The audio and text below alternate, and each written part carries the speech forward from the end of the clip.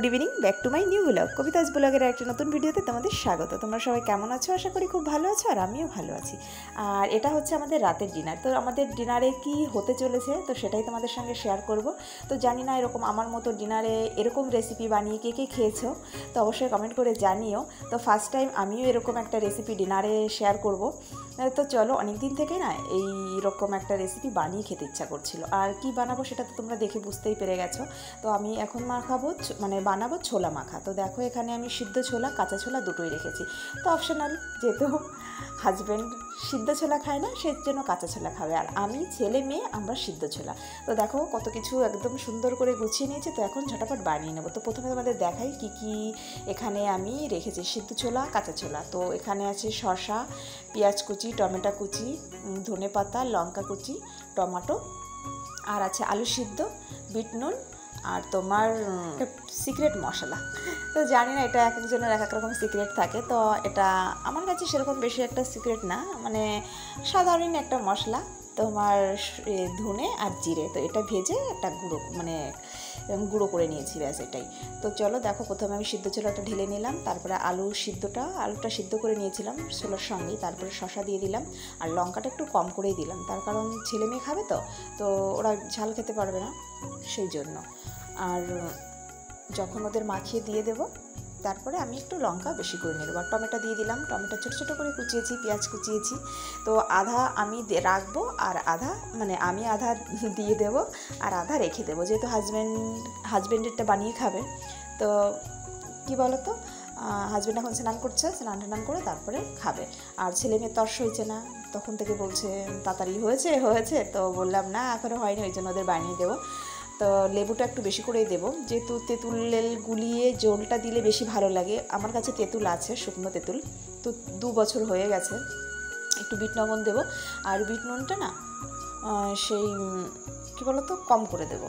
যেহেতু আমার মেয়ে এবার একটু নুন কম খায়, ও বেশি হলে খেতে পারে না। ওই জন্য ওকে প্রথমে বানিয়ে দিয়ে ছেলে মেয়ে দুজনই নুন কম খায়। আমি একটু বেশি খাই হাজব্যান্ডও আরও কম খায়। তো ওই জন্য ওদের বানিয়ে বানিয়ে দিয়ে তারপরে আমি আমার মতো করে টেস্টি করে বানিয়ে নেব। তো ওদের যেহেতু আর সহ্য হচ্ছে না, পড়তে বসেছে, বারবার আসছে, হলো হলো হলো তোমার। তো ওই জন্য ভাবছি আগে ওদের বানিয়ে শান্ত করি, তারপরে আমারটা সুন্দর করে টেস্টি করে বানিয়ে খাব। তো অনেক দিন থেকে ইচ্ছা করছিল, যেহেতু আমি বাইরের খাবার খাই না তো অনেক কিছু খেতে ইচ্ছা করে, যেগুলো পারি আমি ঘরে বানিয়ে খাই, না হলে খাই না। তো অনেক দিন থেকে ইচ্ছা করছে কবে বানাবো, কনে, কবে বানাবো। তো অনেক জিনিসই ছিল না, যেহেতু ধনে পাতা পাচ্ছিলাম না। আর এখন এই সময়টা না আর পাওয়া যায় না সবসময়। তো যাই হোক, পেয়েছি। আর মানে ছোলাটা কালকে রাত্রে আমি ভিজিয়ে রেখেছিলাম। তো সেটাই এখন, আর এখন অনেক রাত হয়ে গেছে। সাড়ে আটটার বেশি বেজে গেছে। আর বৃষ্টি হচ্ছে ভীষণ। তো ভেবেছি আজকে রুটি সবজি করব না। তো ছোলা মাখাটা খেয়েই ব্যাস ঘুমিয়ে পড়ব। যেহেতু এত সুন্দর একটা ওয়েদার না তো আর ভালো লাগছে না যে অন্য আর অনেকটাই বানিয়েছে। দেখো, ছেলে মেয়ে তো অল্প অল্প করেই খাবে, তো এটা আমার হয়ে যাবে। হ্যাঁ আমার পুরো পেট ভরে যাবে। তো সেই জন্য আর প্রথমে আমি অল্প করেই দিলাম ছেলে মেয়েকে। মেয়ে খেয়ে নেবে, আমি জানি গ্যারান্টি তবে ছেলে কি করবে জানি না, ও একটু অন্য টাইপের তো সমস্ত কিছু মানে সমস্ত খাবারও পছন্দ হয় না। ও তেলের জিনিস বেশি একটা পছন্দ করে না। অনেক জিনিসও পছন্দ করে না। আর মেয়ে যে যে জিনিসগুলো পছন্দ করে সেটা ছেলে পছন্দ করে না। আর মানে আমরা চারজন মানুষ বলতে গেলে চার রকমের। তো একটু সমস্যা হয়। যাই হোক, সেটা ম্যানেজ করে নিতে হয় আমাকে। আর সে মেয়েকে দিয়ে দিলাম। দেখো ছেলেকে। তো আমি নিয়ে যাচ্ছিলাম ওরা যেখানে পড়ছিল ঘরের মধ্যে।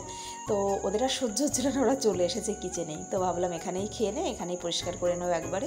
তো ছেলেকে দিতেই দেখো, ছেলে মেয়ে কিন্তু মুখে দিয়ে দিয়েছে ছেলে দেবে কি না ভাবছে, এটা কী কী এরকম করছে তখন থেকে।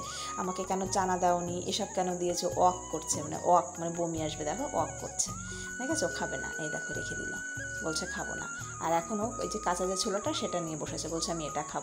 ওটাও খেতে পারবে না। ওটা দেখতে সুন্দর লাগছে, কিন্তু ওটা মুখে দেবে, মুখে দিয়েই ফেলে দেবে। বললাম, না, চারজন মানুষ আমরা, চার রকমের। আর মেয়ে খেয়ে তো টেস্ট পেয়ে গেছে, মেয়ের ভীষণ ভালো লাগছে। যেহেতু ও একটু ঝাল দিয়েছি তো একটু ঝাল ভালো খায়। তবে বেশি দিনে অল্প করে দিয়েছি, এখন আমারটা সুন্দর করে বানিয়ে নিই। ওই দেখো, বলছে, এটা খাব। যেই মুখে দেবে, অমনি ফেলে দেবে। ওই দেখো, দেখেছ? রেখে দিয়েছে ওটাও। ওটাও রেখে দিয়েছে, বলছে ওটাও খাব না। তাহার মানে কিছুই খাবে না। আর আমি কী করেছি বলো তো দুপুরে যে রান্না ছিল ভাত আর ওলের তরকারি করেছিলাম, তো সেইগুলো রয়েছিল।